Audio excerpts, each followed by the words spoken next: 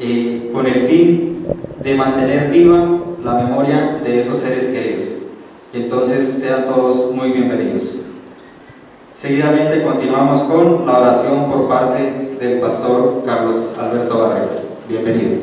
Yo les hago un llamado a perdonar porque el perdón es una medicina, porque el perdón es una exigencia, porque el perdón eh, siempre beneficiará a la persona.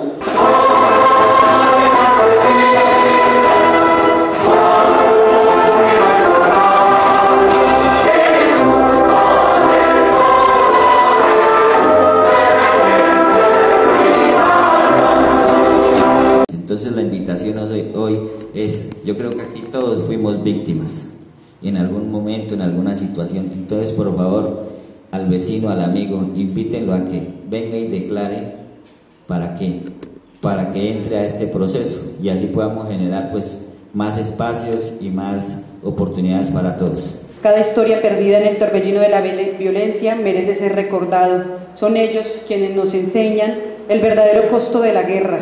En este día de conmemoración recordamos el dolor vivido, pero también miramos hacia el futuro con esperanza y determinación, con resiliencia y la esperanza de que nuestras actuales y futuras generaciones puedan vivir en paz. Escuchaba los relatos que estaban diciendo ellos, yo estaba en la parte de atrás tomando apuntes y yo decía, ¿cómo hemos sobrevivido a esto? ¿Cómo sobrevivimos? ¿Cómo vivimos cada día sabiendo que todo esto ha pasado?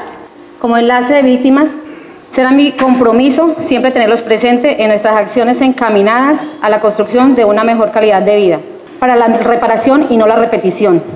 La consolidación de la paz no borrará las heridas que la violencia dejó.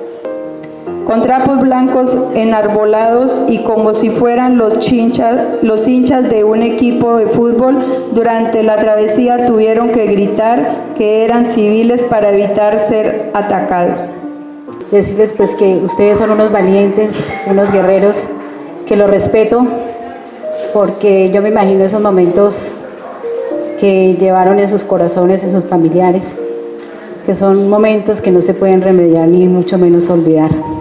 Que nosotros como Banco Agrario, pues somos la única entidad bancaria y oficial que a lo largo de los 25 años que venimos trabajando hemos venido atendiendo a la población víctima del conflicto.